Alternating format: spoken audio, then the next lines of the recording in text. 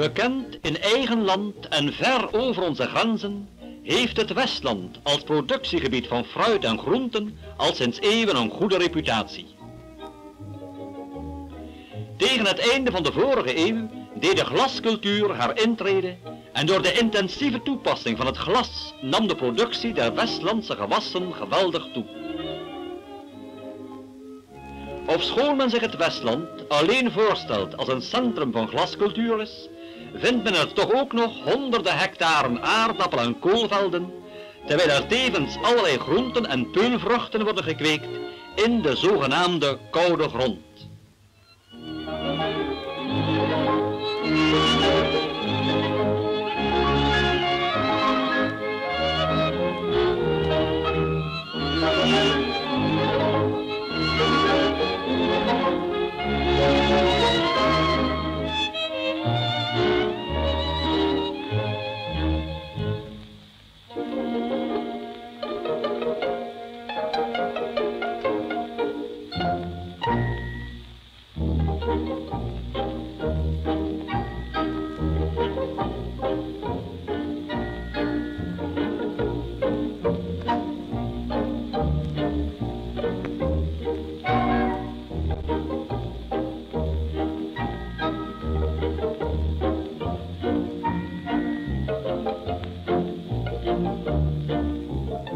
Aan de glascultures heeft de Westlander echter zijn hart verpand en in deze streek zijn er ook ongeveer 5 miljoen ramen verwerkt.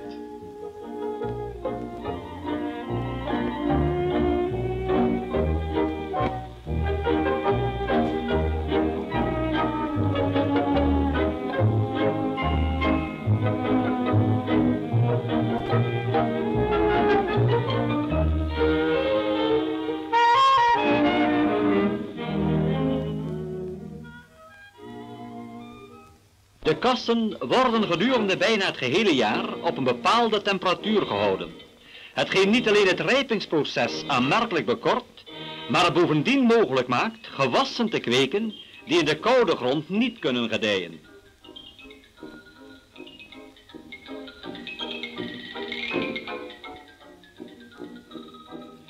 Dit is het interieur van een zogenaamd warenhuis.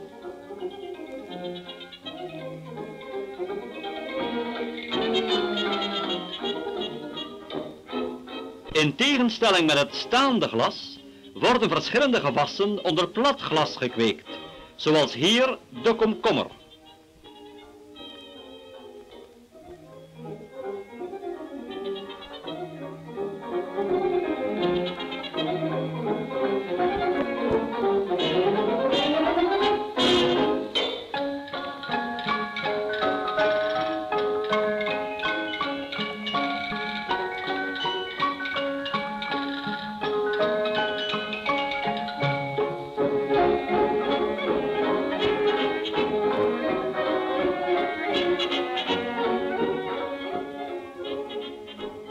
Ook meloenen worden onder plat glas gekweekt.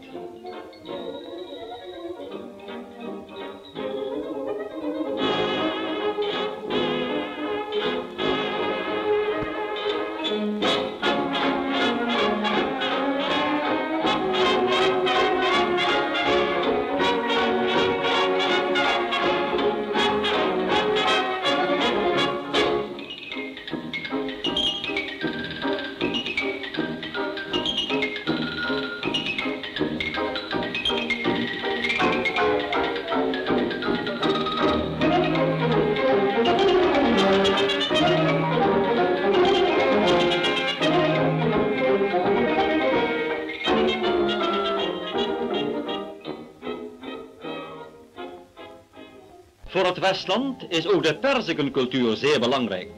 Doch zijn perziken door hun teerheid minder geschikt voor export. Nederland verbruikt alleen uit deze streek reeds ongeveer 5 miljoen van deze vruchten.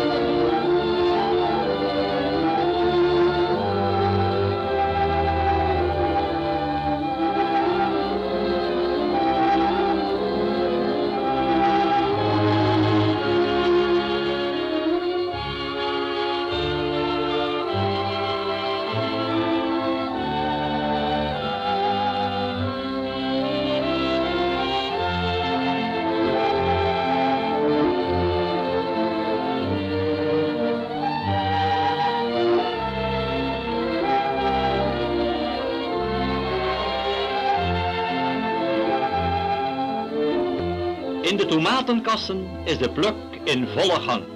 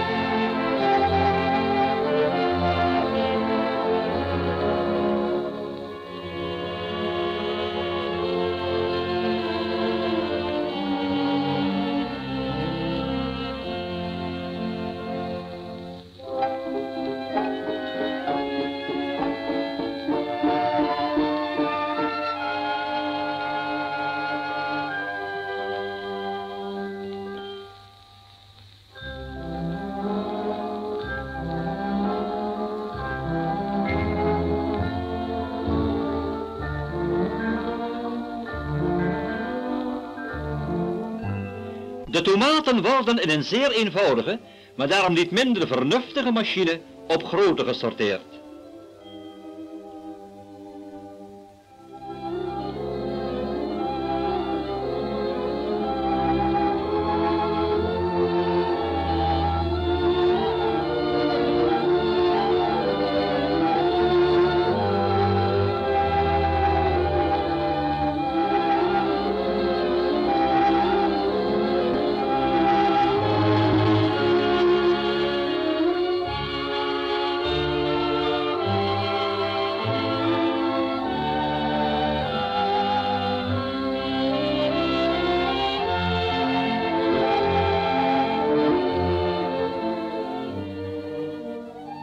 In vroeger tijden werden de druiven tegen de druivenmuren gekweekt. Doch ook voor deze smakelijke en mooie vrucht, die wel een de belangrijkste producten van het Westland is, bracht het glas een ommekeer.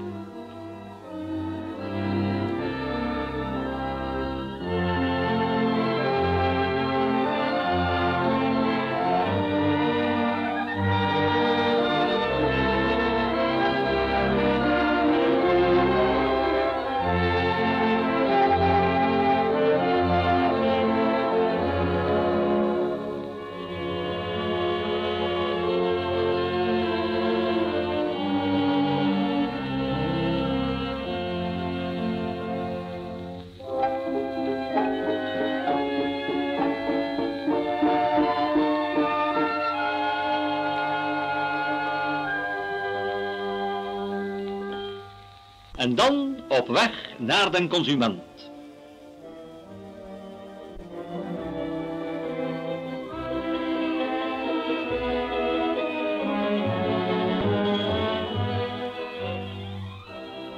Het Westland kent verschillende veilingen waar de gewassen voor de verkoop naar binnen- en buitenland worden aangevoerd.